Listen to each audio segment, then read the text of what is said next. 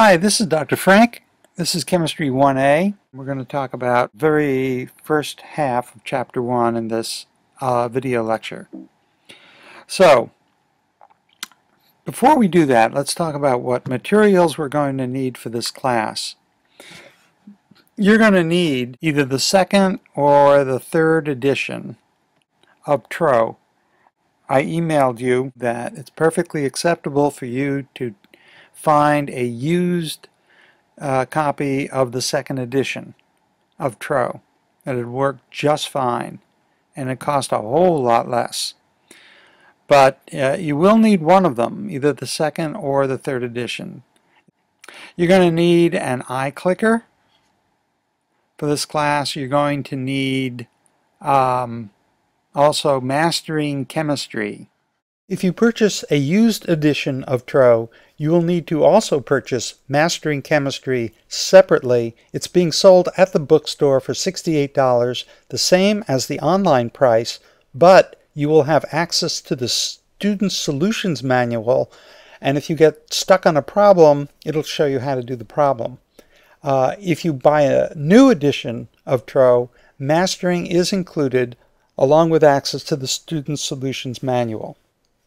Now the all-important mastering ID for this course is right here, Chemistry 1A, Frank Fall 2013. No spaces, all caps. All right, you're going to need a lab manual. It's going to look different than this because this is the fall 2012. You're going to want the fall 2013. You're going to need a small window calculator that has LOG function on it and 10 to the x function on it, you will not be allowed to use a graphing calculator in the class during exams. And it's very important for you to familiarize yourself with the same calculator that you're going to be using for exams so that you're able to use it effectively. You're going to need a Scantron, form 20052. Actually, you're going to need about, I don't know, 10 of them. So if you buy a packet of it, uh, you'll probably end up using them. When you store them, make sure they're flat and the edges don't get gnarly because then they don't go through the machine. Okay, you're, as far as the iClicker goes, um, some of you might have an iClicker, some of you are going to purchase an iClicker. Either way, you're still going to need to register your iClicker serial number. And the iClicker serial number can be found either on the back of the iClicker or kind of hidden away in the battery cavity. You will need to register it. That means you go to iClicker.com, you push the register button and tell iClicker your your name, your Fresno State ID, and your iClicker serial number so that when I download that information, I'll be able to associate the serial number of your iClicker, which is what gets recorded on my computer, to who you are. If you don't do this step, I just have the serial number and you don't get credit for the work you've been doing with the iClicker. Cannot be chemically broken down into simpler substances. You're probably all familiar with the periodic table, starting with hydrogen right over here, and then helium over here, and all the rest of them. Uh, actually, there's a little song that will help you memorize all the all the elements in the periodic table. You want to hear it? Well, of course you do. There's antimony, arsenic, aluminum, selenium, and hydrogen, and oxygen, and nitrogen, and rhenium, and nickel, neodymium, neptunium, germanium, and iron, americium, ruthenium, uranium, europium, zirconium, lutetium, vanadium, and lanthanum, and osmium, and astatine, and radium, and gold, protactinium, and indium, and gallium, and iodine, and thorium, and thulium, and thallium. There's Okay. Some elements are stable as individual atoms, like helium, or argon, or krypton. Other elements uh, are stable when only when they're combined with two or more atoms. So atoms bonded together this way form molecules. There's a molecule of hydrogen, H2. In order to be stable, you need two atoms of hydrogen bonded together.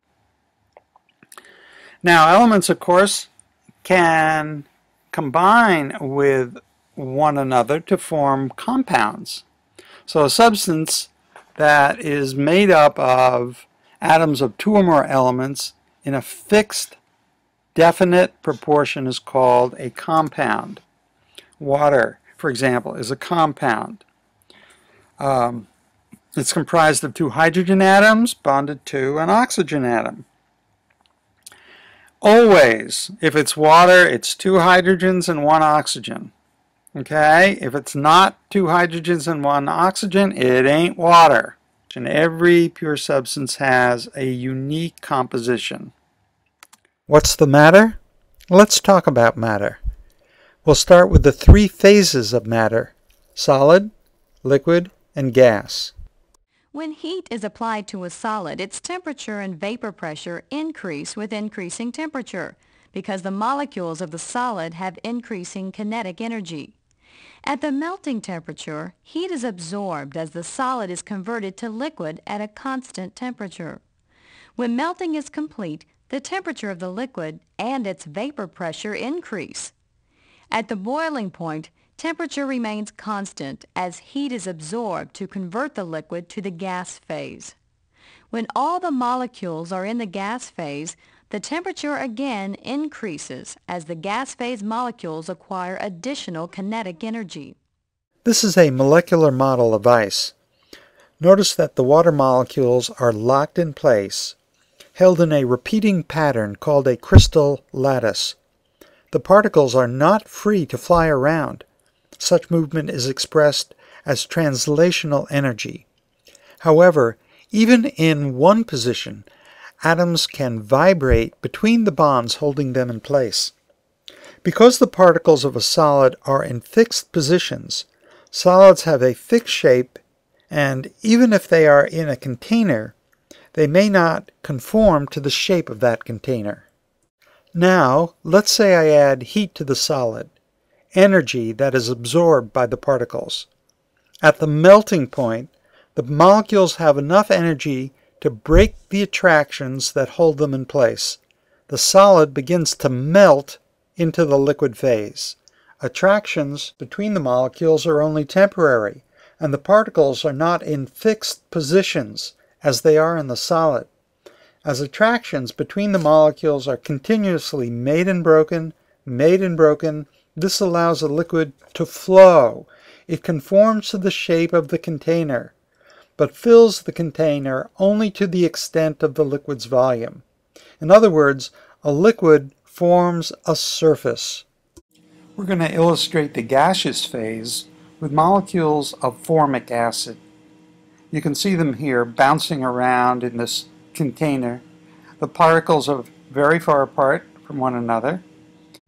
They collide with themselves and the sides of the containers. They move randomly about. Because of all this empty space in a gas, gases are compressible. Unlike uh, water or a solid, if you do a belly flop in a swimming pool, it hurts because water doesn't compress. But if you jump in a, a jump house, uh, you can because the air particles filling the canvas bag are compressible. It can be squeezed closer together. So in the gas phase, no attractions between the particles. Uh, particles are moving with a lot of kinetic energy throughout space until they collide with either each other or if they're in a container with the walls of the container. So we know about the three phases of matter solid, liquid, and gas. But for each of these states, we can classify matter in terms of a fixed or variable composition. Matter in which the composition is fixed is always made up of the same element or elements in the same mass ratio. Physical properties such as boiling point, melting point, density are also fixed. This is a description of a pure substance. Another type of matter has variable composition with variable properties. This type of matter is called a mixture. Now we're going to show you an example of a chemical change. Here we have formic acid, uh, a hydrogen connected to a carbon, the carbon's connected to an oxygen, uh, two oxygens, and one of those oxygens is connected to a hydrogen. So the atoms are arranged in a specific way to form this molecule, formic acid. Here we see them in a gas, uh, bumping into each other randomly, bumping into the sides of the container, empty space between them. There are collisions between particles. If the kinetic energy is high enough, these collisions can lead to a chemical change where the atoms break apart and form two new compounds, water and carbon monoxide. So I'm going to hit the run button and the chemical change will start to occur. So watch what happens. Here it goes. Every one of those bursts of yellow light indicates a decomposition of the formic acid into water and carbon monoxide. The atoms have rearranged, different compounds have formed. After the reaction, there's no formic acid, there's just water and carbon monoxide. That's an example of a chemical change. So we've talked about matter in the three phases, solid, liquid, and gas. What kind of matter would it be, would we define it as, if the composition was fixed? In other words, it was always made up of the same element or elements in the same mass ratio. And the physical properties of this were also fixed. What would you call that? Well, that would be a pure substance. But suppose there's a different kind of matter in which the composition is variable and the physical properties are affected by that composition. What would you call that? That would be a mixture. For example, you could take a tablespoon of salt and put it in a glass of water, stir it around, and now you'd have a mixture of salt and water. Now that mixture would have a different boiling point and melting point and density than that of pure water. Or you could take two tablespoons or three tablespoons or four tablespoons of salt.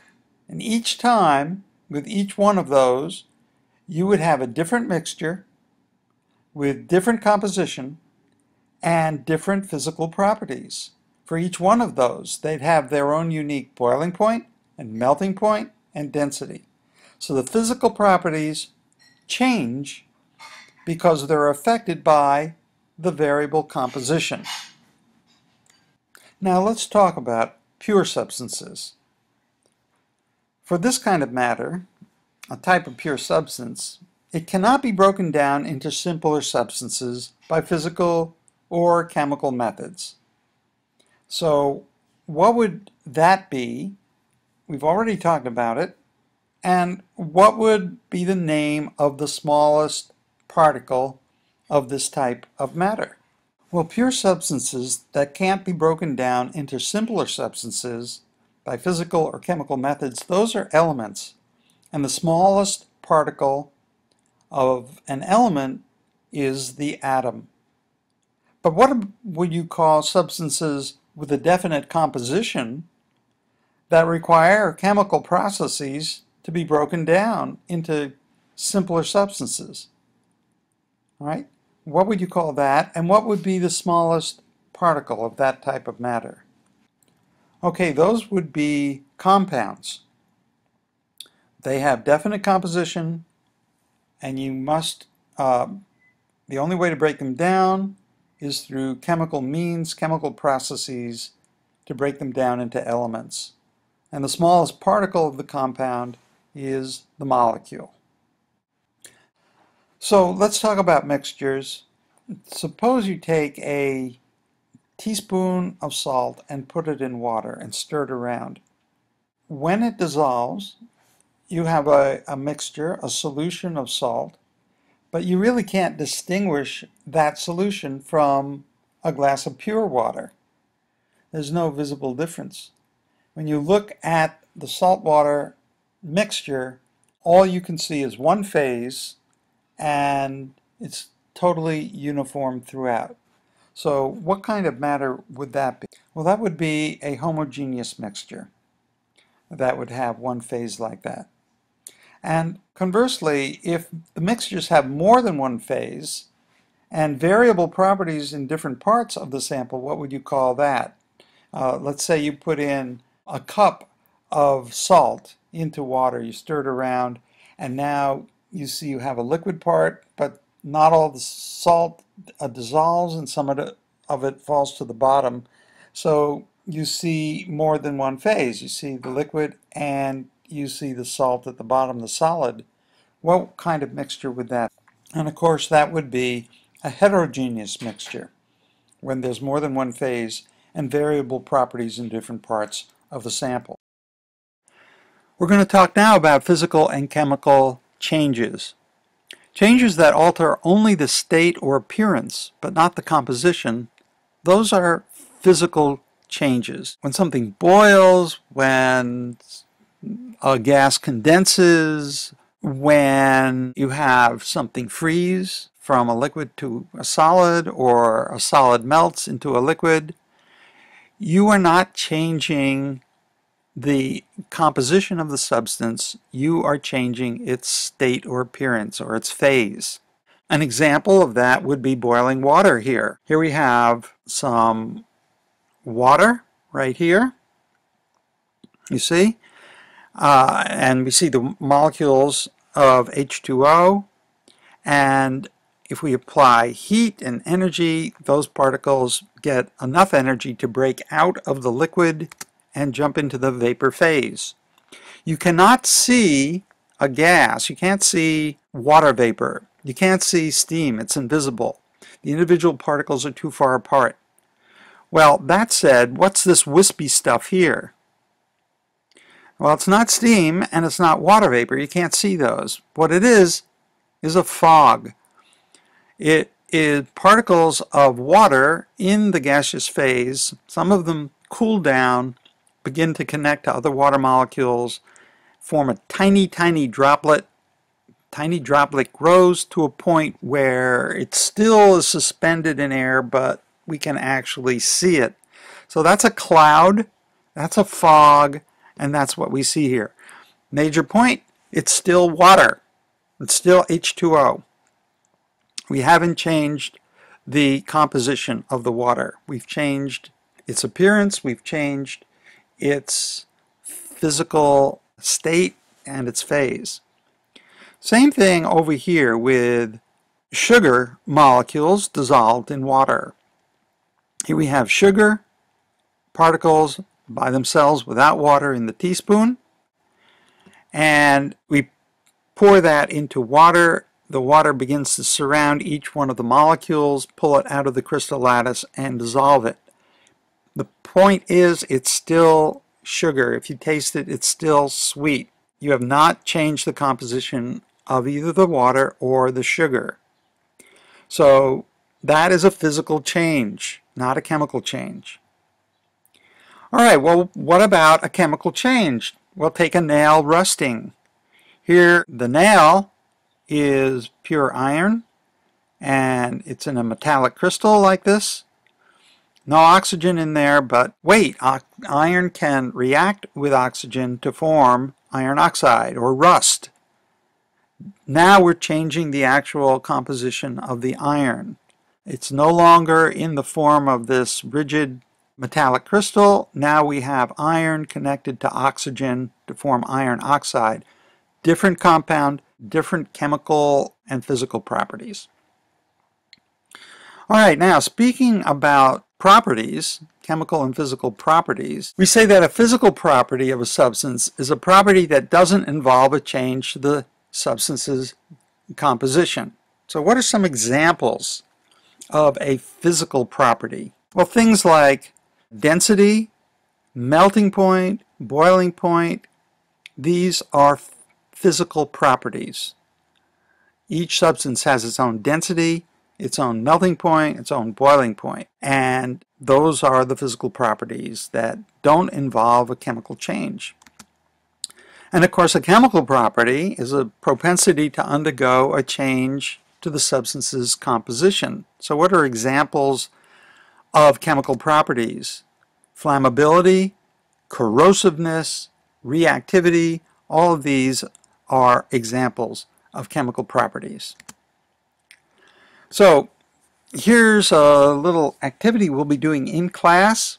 What we're going to do is examine these panels and we're going to want to identify elements and compounds in each one of these panels. We're going to want to talk about whether it's a solid, a liquid, or a gas in each one of these panels, whether it's a pure substance or a mixture, and can we describe what we have in each one of these panels. So we'll be doing that in class. A little about the scientific method. All science begins really with observation careful noting and recording of natural phenomena. But a scientist, by and large, is curious, and he sees an observation and he sees a phenomenon that he doesn't understand, and he wants to understand. So, one part of the process then is to make a tentative explanation to explain what's behind the observation. We call that tentative explanation a hypothesis. And observations can also lead to laws, a generally observed natural phenomenon. For example, Sir Isaac Newton's law of gravity. That's a law based on generally observed natural phenomena.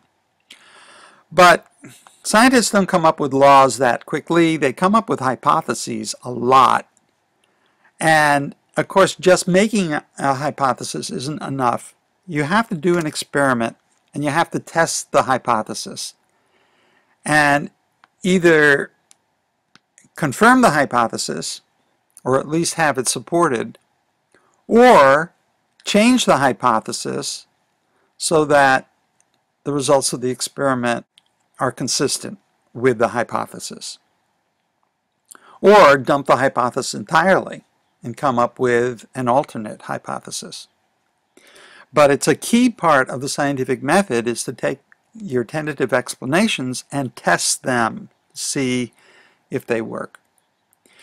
After lots and lots of people confirm the hypothesis, science community becomes more confident in it and the hypothesis becomes a theory, a general explanation of natural phenomenon. So that's the scientific method. You've been doing it all your life. Suppose you go to your computer and turn it on. It doesn't turn on. The screen doesn't light up. Okay, so first you make a hypothesis. Um, is the computer plugged in? You check. That's a hypothesis. You do an experiment. You look. Yes, the computer's plugged in. You discard that hypothesis. Is the screen plugged in? That's another hypothesis. You check, yes, the screen is plugged in. Next hypothesis, is the screen connected to the computer? And you look back and you see, pull on the cable, you see the cable's loose, you plug it in, and when you plug it in, all of a sudden, your computer lights up. So you've been doing this intuitively all your life. A scientist just does it in a very organized way and records his observations carefully and goes back and tests his hypothesis very carefully, writing down everything that happens, and then when he thinks he has uh, a cool, really good hypothesis and it's been supported by experiment, he publishes. Well, here's somebody who did not do that. His name is J.J. Becher, and he's the guy who came up with the phlogiston theory, which lasted for about 150 years. It was a theory of combustion uh, back in the 1600s and 1700s.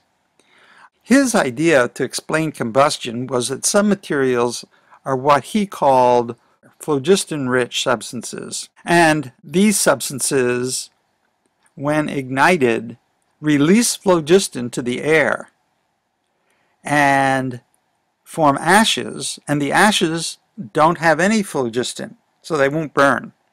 I mean, that was his idea of what was happening in combustion. The problem with it was that when you burn wood, of course, the ash that you're left with weighs less, so the burning wood loses mass. But when you burn metal and weigh the ash, the ash actually weighs more than the metal that you started with. And this is kind of confusing. Eh, if you have phlogiston being lost by the burning metal, how is it that the ash that's left, which has released its phlogiston, ends up weighing more than the original metal? So supporters of phlogiston said, well, okay, there's some kinds of phlogiston, like for metals, that weigh less than nothing. So when metals burn, they lose this kind of phlogiston, and what you have weighs more. The ash weighs more they're doing everything they can to save the theory. So much of chemistry in those early, early times were based on this phlogiston theory. I mean, you went to the university, you heard about phlogiston, uh, and it was, of course, completely wrong. Then Joseph Priestley discovered oxygen by heating the oxide of mercury and collecting the gas that was released. He saw how this gas supported combustion, when glowing splints burst into flame when inserted into it. He put mice in a chamber of this gas and saw how frisky it made them. He said, Only two mice and I have had the pleasure of breathing it. Priestley didn't know he had discovered oxygen. He thought he had found dephlogisticated air, a gas so hungry for phlogiston that it eagerly sucked it out of whatever was burning. On October 1, 1774, Priestley visited 3, 2, 1. On October 1, 1774, Priestley visited Lavoisier in Paris and told him of his discovery. It was just the breakthrough that Lavoisier was waiting for. He had had serious doubts about the phlogiston theory and eventually realized that this gas Priestley had come across, he called it oxygen, was chemically combining with the materials that were combusting. He came to understand that in a chemical change, matter is neither created nor destroyed, merely rearranged, and stated this in his law of conservation of mass. The mass of a closed system will not change regardless of the chemical processes occurring within. So now we know that when something burns like wood or methane, to make it simpler, what we have is reacting with oxygen and produces carbon dioxide and water. If this is not in a closed system, the carbon dioxide and water are gases and they leave the system, leaving behind the ash. If magnesium reacts with oxygen, you get magnesium oxide, which is not a gas, and which weighs more because now you're weighing both the magnesium and the oxygen. Okay, that is our video lecture for uh, this part of chapter 1.